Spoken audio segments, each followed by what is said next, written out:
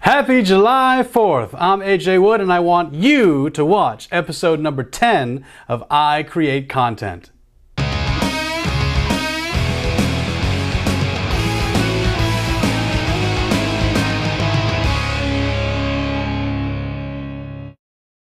Thanks for joining me. It's July 4th, Independence Day here in the good old US of A.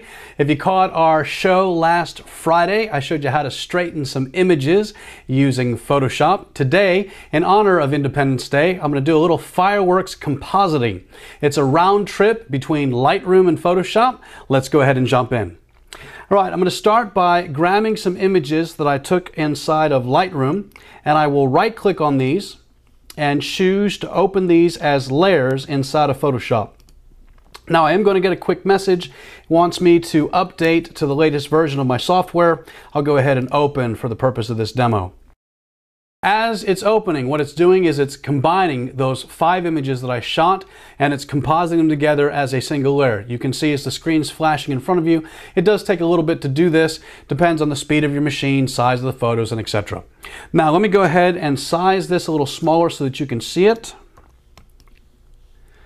And I'm going to zoom in just so everything appears a little bit better. You can see I have multiple layers, so I'll just turn these off and just build these up. These are all independent photographs aligned to separate layers.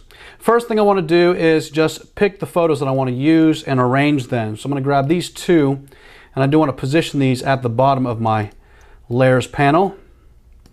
And I'll just turn these off. This is going to be my base layer and I'm going to turn on the layer in front of it and you can see I can show and hide. What I'm going to simply do here today, have a quick trick for you. I'm just going to take these images and with the exception of a few rectangle marquee cutouts, I'm going to change the blend mode of every single layer to screen. You're going to see that the black in the images drops out and I can compose and arrange these fireworks. Let's take a look. I'll just grab this layer here. Again, there's the layer underneath. Go ahead and I'll change the blend mode to screen. And now you can see the underlying layer. I'll take a second to just align these up. I think that looks a little better. So this is off, this is on. Now I've got the composite of those two layers. Let me move to the next layer, turn it on. Hey, in this case, I'll use my rectangle marquee. I'm going to select these fireworks because I do not want the water underneath. I'm going to go to the select menu and choose inverse because I'm going to hit the backspace key, the delete key on the keyboard, and I'm going to delete the background. Now, if you take a look with the move tool, you can see Here's the third layer. I'm moving the fireworks. If you look closely at the layers panel, you'll see they're also moving.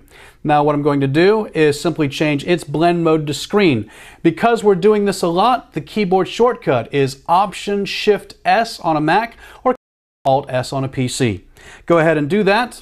Black drops out. Now I can go ahead and move these fireworks into place. I think that looks pretty good right there. Let's go ahead and get the rest of this finished. So here's another firework. Option Shift S. There's the blend mode. Use my rectangle marquee. I'm going to crop out what I don't want in that image. Hey, that works pretty good. Go to the next one, same thing. Do a little cutout here, rectangle marquee. Hey, Command Shift I or Control Shift I on a PC. Hit the backspace key. And now we can see there's that image. Once again, Option Shift S, Alt Shift S to change the blend mode. That looks pretty good. Last and final layer up at the top, just going to move that into place. Think it should go right about here. Option Shift S, Alt Shift S. There's the blend mode to screen. Going to go ahead and just move that. I think that's it. Rectangle marquee to cut out the bottom half of the photo. And here we go. So this is a single firework Ooh, and it looks like I made a mistake. Undo real quick. I chopped off too much. Let's go ahead and Command Option Shift Z back up. I just cut off a little bit too much. I saw that. Can't have that in a photo. That would just be awful. Hey, there we go. That's a little bit better.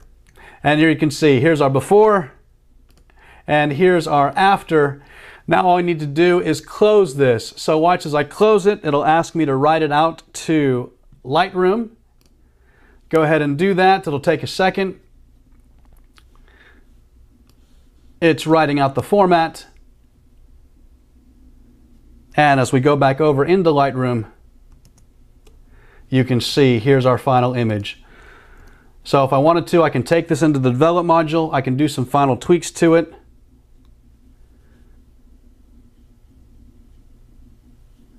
If I want to, can bump up my exposure, make it a little brighter, vibrance.